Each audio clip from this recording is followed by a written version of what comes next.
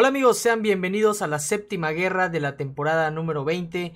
Esta vez que no vi nos enfrentamos a la Alianza Legión Latina que leyendo los comentarios luego en el chat eh, nos dijeron que ellos son los de Rebla, Revolución Latina, solamente que se cambiaron el nombre. Entonces, pues un saludo a todos ellos, a toda esa alianza. Aunque hubo uno que otra persona que sí como que estaba muy ofendida, pero pues bueno, X, ¿no? Saludos a todos por igual. Y esta vez nos tocó el camino 6 en la sección 1, nos tocó enfrentar a esta antorcha humana. Yo sinceramente no les recomiendo pelear eh, con Quake en este nodo a menos que tengan nervios de acero y sepan que si les golpean incluso en defensa estás prácticamente muerto porque si bien la conmoción eh, anula lo que son las cargas de furia que va incrementando el daño del enemigo no las acumula tan rápido, si terminan acumulando. Como ven ahí, hubo un momento en la pelea en que yo me intenté deshacer de todas esas cargas de furia, pero de ahí fue inevitable. Y en este punto ya tenía 6 furias. Me hubiese golpeado, aunque sea en defensa, me hubiese matado, amigos. Porque cada furia creo que incrementa el daño del enemigo un 100%, un, 10, un 200%, no sé cuánto. El chiste es que 3, 4 furias son suficientes para que de un golpe te mate. Entonces, en defensa, igual te puede llegar a matar. Afortunadamente supimos hacer esa pelea sin pedos. Eh, me mandé en ese camino porque pues bueno, eh, ya en, un inicio el enemigo estaba empezando a morir. Se ve que su única meta eh, era explorar todo el mapa para no dejarnos ningún nodo y así conseguir ellos el máximo de puntos posible para que así pues vayan manteniéndose eh, en la posición en la que están actualmente, ¿no? Y bueno, en el siguiente nodo eh, nos tocaba darle este Mephisto. Mephisto contra Quake, sinceramente, es muy fácil. Eh, aparte de que Mephisto no se ve beneficiado por el nodo global de obstinación, así que pues es una pelea básica para Quake. Puedo eludir completamente todos sus golpes sin necesidad de que vaya a activar indestructible o, o, o, algo, ¿no? Porque pues el nodo prácticamente nada más es lo que le da, creo que eh, acopio de poder antes de una barra de poder. Entonces, como no lo voy a golpear, pues anulo todas esas habilidades igual del nodo local. Y en el siguiente nodo me tocaba darle a dientes de sable, amigos. A este dientes de sable terminé dándole eh, enlazado. Eh, porque mi compañero del nodo del camino 5 no se había movido todavía. Y pues eh, decidí como estaba potenciado dije ah, aunque ligeramente dije no en 15 minutos se me eh, acaba mi potenciador. No creo que mi compañero se una. Así que vamos a darle. Y le di a ese dientes de sable. Total, lo, lo que iba a tener de ventaja este dientes de sable con el nodo enlazado era el nodo del Nick Fury. Que es el que tengo que hacerle gancho para que yo pueda hacerle bastante poder. Si se fijaron bien, como le hice gancho, activé yo lo que es una ventaja de furia que aumenta mi daño. En sí me puede llegar a beneficiar un poco. Pero dependiendo del enemigo que me hayan puesto es por el motivo del que yo decidí darle enlazado. Porque si hubiese sido un enemigo más difícil, ni de pedo me hubiese arriesgado. Por eso es que utilicé al Warlock. Y pues se murió ese dientes de sable en cuestión de un especial 2. Eh, Warlock rango 3 está súper roto, amigos. potenciado con los potenciadores esos tecnológicos de acopio de poder te ayudan bastantísimo, aunque en esta pelea no hubo ni siquiera necesidad. Y en el siguiente nodo, amigos, fíjense bien que aquí fallé al momento de conseguir la robustez, no eludí para que me desactivara, me, anulara lo que es eh, la destreza en vez de la robustez y tú tenía que volver a hacer el mismo proceso del inicio de la pelea, entonces dije, ok Pepe, aquí por eso no continué mi combo, para que, eh, perdón, por tercera vez me quitó la, la robustez, no me dio tiempo de eludir y en este punto sí, aquí eludí, ¿vieron? Activé la destreza, no se activó, me anuló la destreza y ahora sí activé lo que es la ventaja de robustez. Es un poco problemático eh, si llegas a perder la ventaja de robustez. Pero el plus que tiene Warlock cuando se enfrenta a Havoc es que conforme tú le vas haciendo parry, como él va ganando poder eh, por su habilidad, tú vas a ir drenándole poder constantemente. Entonces las detonaciones de plasma no se van a ir acumulando en ti. Eh, puede llegar un punto en el que sí lo haga, pero eh, lo, afortunadamente pues conseguí mi carga de robustez, entonces ya no tenía que preocuparme para nada. Ya había ya bajado creo un rango 3 Havoc en este nodo, Domino también, entonces eh, pues estaba muy confiado la verdad. Y para la sección 2 amigos me tocaba iniciar con este mini subjefe en el en la unión de los tres caminos 1, 2 y 3 antes de llegar a ellos. Y pues me tocaba darle ese simbionte supremo. Esta guerra, sinceramente, todos nosotros nos la tomamos como una guerra en la que no íbamos a utilizar potenciadores de 3 minutos. Porque, eh, pues, ustedes saben que hemos tenido unas cuantas guerras difíciles y eh, un claro ejemplo yo, eh, que hasta hace unos días no tenía ningún potenciador de una barra de poder, pero afortunadamente salieron en la tienda y ya tengo dos. Y pues obviamente no iba a utilizar en esta guerra porque como les dije, el enemigo... Eh, su única meta era nada más limpiarnos el mapa, no estaban escatimando en bajas, entonces lo íbamos a tener fácil en ese aspecto, ¿no? Y pues estuvo bueno para nosotros porque pudimos ahorrarnos bastantes recursos. De hecho, yo me potencié muy, muy poco en esta guerra. Al final me potencié porque, pues bueno, ya les voy a explicar el por qué. Y en la segunda sección, amigos, me tocaba darle al camino 2. Si se preguntan por qué no utilicé a Magic, a pesar de que Magic es buena contra Capitana Marvel porque le hace daño directo energético, porque es la debilidad de Capitana Marvel. Eh, no lo hice por todas las ventajas que ustedes están viendo eh, que es, ese número 5, número 4 y número 2 son de golpes que tú puedes dar a lo largo de la pelea, ya sean ganchos, golpes débiles y eh, golpes fuertes. Entonces, cuando se te acaba eso, se te activa una desventaja de bloquea poderes. Entonces, eso puede llegar a complicar un poco la pelea. Pude haber utilizado a Magic, pero decidí mejor irme a lo seguro con Quake. De hecho, por lo general, nosotros mandamos a Quake en dado caso que pues, nos pongan luchadores que se puedan quakear. Eh, porque se puede llegar a complicar este camino 2, a pesar de ser de los más fáciles según, pueden llegar a dar bajas los enemigos. Nos ha pasado que incluso nosotros damos bajas en estos nodos, entonces no hay que subestimar este, estos caminos a pesar de que se vean fáciles, porque te pueden agarrar con la guardia abajo. Y bueno, antes de irme a dormir, eh, me tocaba darle esa guillotina. Eh, dije, bueno, antes de irme a dormir tengo que bajar este nodo. En dado caso que mis compañeros se quieran mover un poco más tarde. Porque eh, pues tienen otros diferentes horarios. Sobre todo el Blitz. Que ustedes saben que cuando aquí es de tarde. Allá ya es de madrugada casi. Entonces pues sí. dije, a mí no, no me tocaba darle a la Elsa del subjefe. Entonces dije adelante, eh, voy a terminar mi camino antes de irme a dormir.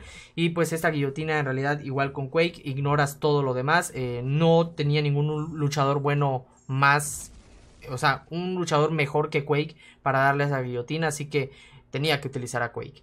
Y bueno, para terminar amigos, me tocaba darle a este eh, subjefe, hechicera suprema. Eh, era el último luchador que iba yo a enfrentar en esta guerra.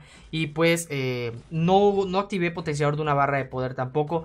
Porque eh, aquí no tiene ningún beneficio en, su, en sus habilidades de acopio de poder. Entonces es prácticamente como si estuviera peleando un Doctor Extraño o un Simbionte Supremo. Que voy a conseguir mi segunda barra de poder mucho antes de que ella consiga eh, su tercera barra de poder o, que se me pueda llegar a complicar. Y como ustedes pudieron ver, eh, antes de, hecho no decidió no utilizar poderes contra mí, entonces eso facilitó mucho más la pelea.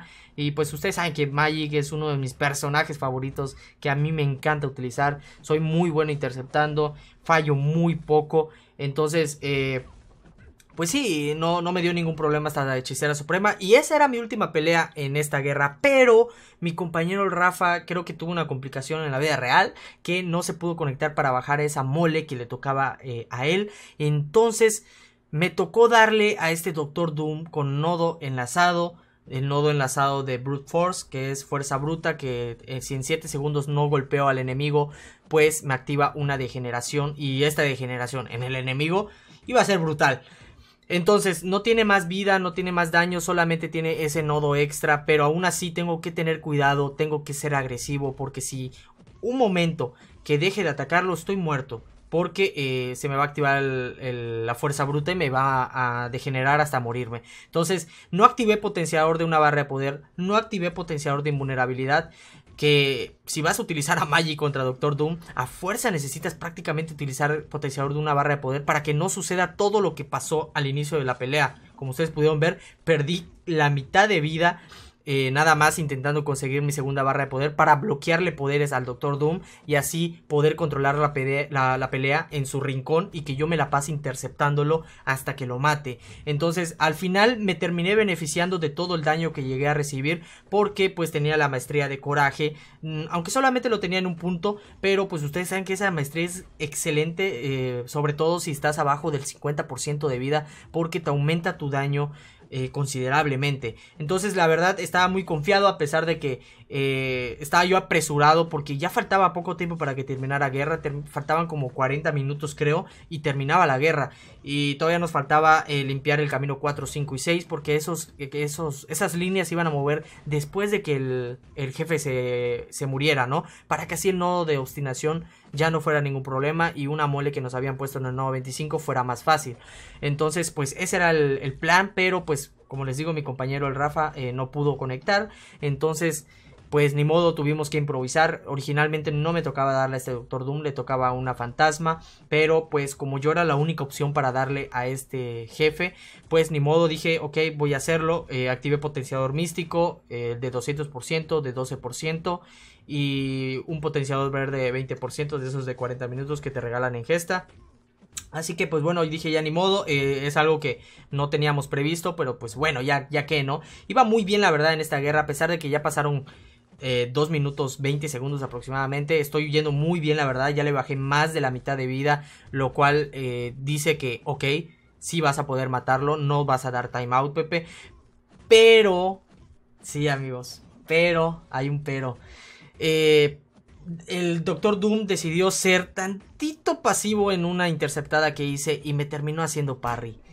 Desgraciadamente yo ya tenía muy poca vida porque pues ustedes saben que perdí bastante vida al intentar conseguir mi segunda barra de poder al inicio de la pelea. Y pues ni modo, sí, me terminé muriendo amigos. De hecho, en un momentito más lo van a ver. Creo que lo dejé como en 25%. Creo que por aquí. A ver, no, en el siguiente, en el siguiente. Vieron que como comenzó a ser un poco pasivo en algunos momentos el Doctor Doom. Y ¡pum! A ver, no, es el siguiente. Le fue la finta, amigos.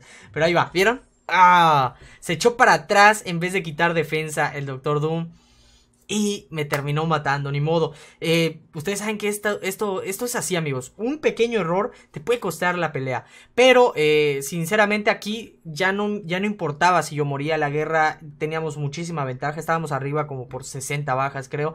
Entonces, no importaba perder el bonus con el Doctor Doom. Y pues al final así fue. Perdimos. Eh, de ahí le dio mi compañero el Monster igual con Magic. Y no duró ni 15 segundos. Se murió. se murió y dije, chin, bueno, pues vamos a darle con Warlock. Luego lo intenté yo con Warlock, le bajé como 10% y me morí también. Entonces perdimos el bonus y al final luego mi compañero el Kraken eh, lo terminó matando con su Corvus. Así que pues bueno, al final dimos tres bajas con ese Doctor Doom, pero logramos bajarlo. Entonces ya de una vez que bajamos al Doctor Doom, las líneas 4, 5 y 6 empezaron a moverse. Y mi compañero el team tenía a la araña traje sigiloso y él se encargó de bajar a la mole. Entonces pues sí terminamos el mapa a pesar de que pues bueno eh, hubo contratiempos, ¿no? De que eh, mi compañero no pudo conectar a tiempo. Así que pues ni modo. al final dimos tres bajas innecesarias que no, no íbamos a dar, pero pues el chiste era terminar el mapa. Ya las bajas en ese punto no nos importaba, nos importaba ganar, porque pues obviamente si no limpiábamos íbamos a perder. Y pues bueno, al final terminamos ganando, como les mencioné al inicio de la guerra, que pues eh, la meta de la Alianza Legión Latina era solamente explorar el mapa y, conseguir el máximo de puntos posible. Así que pues ni modo, eh, sí yo creo que el emparejamiento como que mm, nos dio una alianza más pequeña porque sí, eh, Legión Latina no es una alianza top, es una alianza eh, normal. Eh, creo que tiene como entre 30 y 35 millones de potencia. Y pues nosotros le llevamos casi el doble de potencia. Entonces se entiende de que a lo mejor al, inicio ellos estaban un poco disgustados de que, ah, pinche emparejamiento que nos tocó, nos tocó Kenobi, ¿no? pues ni modo, tampoco nosotros lo pedimos, pero pues bueno, al final fue una guerra un poco más tranquila para nosotros después de todas las guerras difíciles que hemos tenido al inicio de esta temporada, pues ya nos tocaba un pequeño descanso, por así decirlo. Y pues felicidades a los MVPs de esta guerra. Eh, el que Peñate quedó en primero, ahí queda en segundo y el DJ Sergi en tercero. Puro latino en esta guerra quedamos en MVP, tanto en Kenobi como en Legión Latina, porque pues todos los, todos los de esa alianza son latinos, así que quiero creer que todos son latinos. Y pues bueno, más suerte para la próxima Legión Latina. No siempre se puede ganar. Esta vez nos llevamos la victoria nuevamente. Seguimos invictos en esta temporada. Quedan cinco guerras, amigos. ¿Ustedes qué creen? Hagan sus apuestas. ¿Vamos a conseguir el primer lugar nuevamente? ¿O se va a acabar el reinado de Kenobi que todo el mundo dice, ¿no? eh, pues bueno amigos, eh, si les gustó esta pelea, ya saben que pueden dejar su like, suscribirse si no se han suscrito y activar la campanita de YouTube para que les avise cada que yo suba video. Y déjenme en los comentarios qué tal les pareció esta guerra, qué pelea eh, les gustó más de todas las que hice y pues los voy a estar leyendo. Así que amigos, esto ha sido todo de mi parte, cuídense mucho. Bye.